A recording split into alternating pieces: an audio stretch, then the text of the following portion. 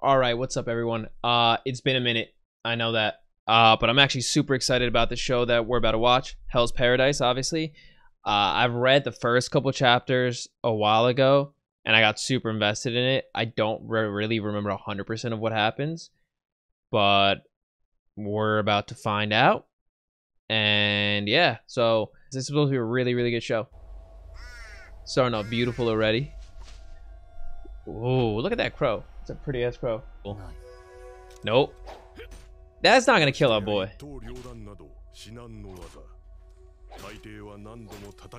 Look how fucking pissed off this guy looks already. He looks like he's just not having a good time. I mean, who would be? Nope. he literally broke the blade just with his neck. Like they really thought that they were gonna play a boy like that and finish him off. Nah, they don't. They they need to know better. He can't die. I mean, it's not that he can't die. He's goddamn invincible, near invincible. Okay, besides killing this countless people, like I said when I was reading this manga, I vibe a little too much with him. He's the whole feeling nothing, not expecting a long life, a little too similar to me. Yeah, Dude is literally demon time. Can't burn him. Can't decapitate him. Don't think you can really poison him. Man, he's just a walking demon amongst humans. Like the fact that normal methods of ending someone don't work on him says a lot about who he is. Like, th this man is just a walking demon. Nope. That won't work. Slashing, piercing doesn't affect him. Fire, lack of oxygen doesn't affect him. Poisons don't affect him.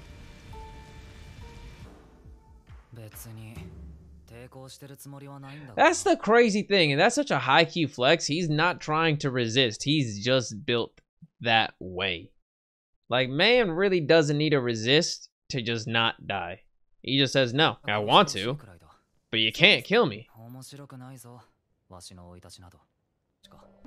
Probably to traumatize him so he doesn't feel anything at all. That's why. Find newborn, insert immense amount of trauma. Make him normalize all traumatic events in life. Great ninja, assassin, hitman, whatever you want. There's the equation to forming the ultimate hitman.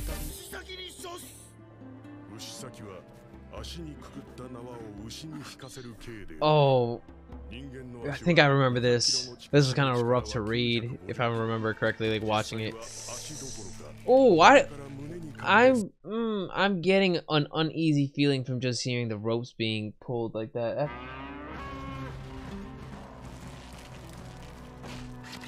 he's just literally built different. Oh. Oh, I don't like that. I don't like that. That's just his body's natural reaction. That's the thing right there. What did the daughter do? I forgot.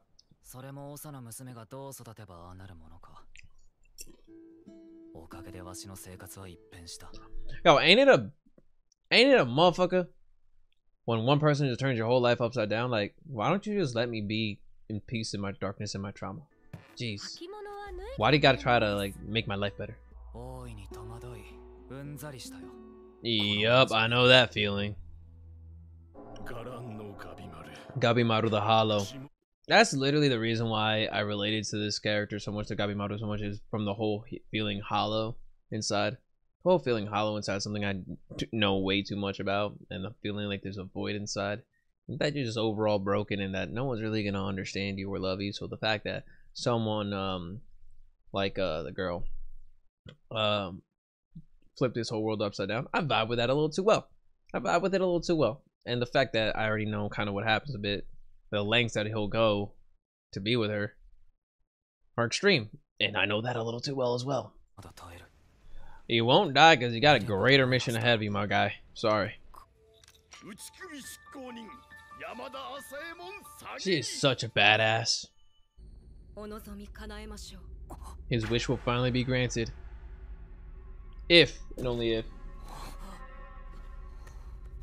TikTok might ban me for that. Yeah, you can tell that she's a real deal, and the body just naturally resisting. This is what he does. He, it's not like he doesn't want to die. His body is trained to not die, so he just reacts. Senses threat, senses danger, anything like that, and his body just reacts.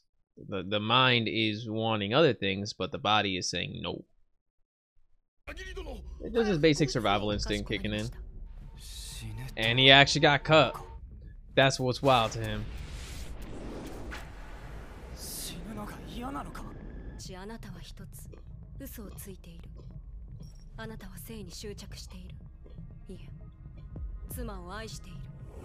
Yep, that's it. It's his wife. Love is the only thing that's keeping him around. Emotions, feelings, that's the only thing. Like that he is he has a void for everything else besides love, besides caring for someone, besides wanting to be with someone. That is the only thing that's keeping him going. Besides that, nothing. There's he literally has no attachment to life itself. Again, it sucks when you finally meet someone that just flips your world upside down and makes you just wanna, eh, feel things. Blah. Blah.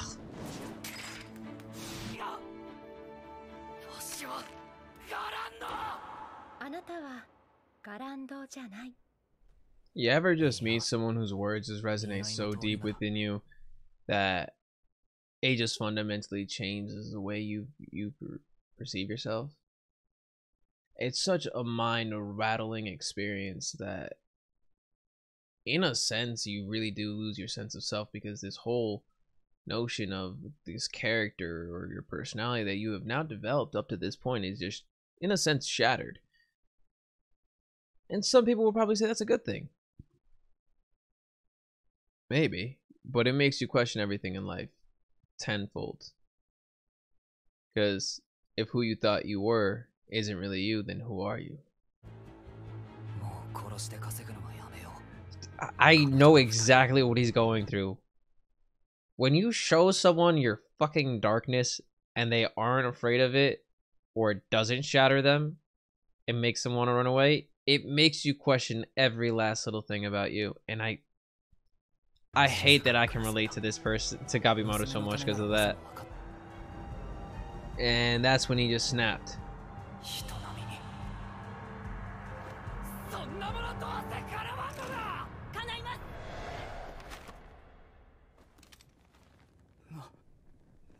The shogun's decree. Of an official party. さらには将軍のご加護が約束される書状です Do you know the fucking motivation you've just given Gabimaru? The man who's hollow, who only feels for one thing and one person, really, which is love, and that's for his wife, is now going to get a pardon and protection from just the shogun. So it trumps the village shinobi and everything else. Like, it's just crazy. 何を言ってただし Now he's going to have all the, the motivation to do whatever has to be このよ done.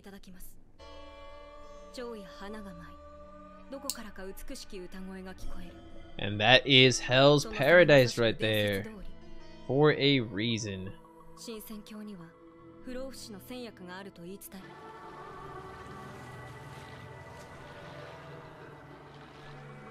Everything just comes back as flowers or trees or anything like that. Something. Basically, everyone's gonna die, but in death, you find beauty. Hell's Paradise. See? It's a foot. It's a damn foot. Like, that is a crazy thing to see. Imagine seeing that come back in a boat. That's wild.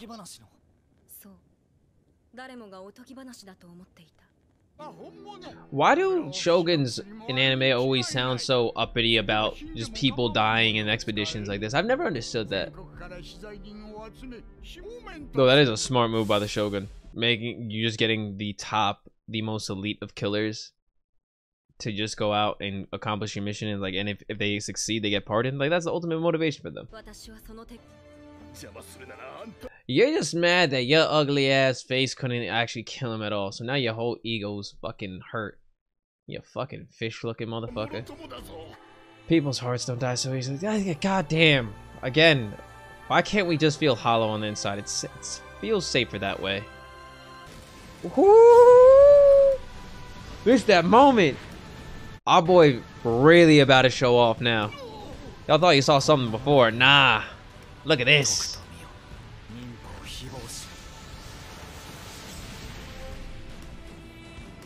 Oh.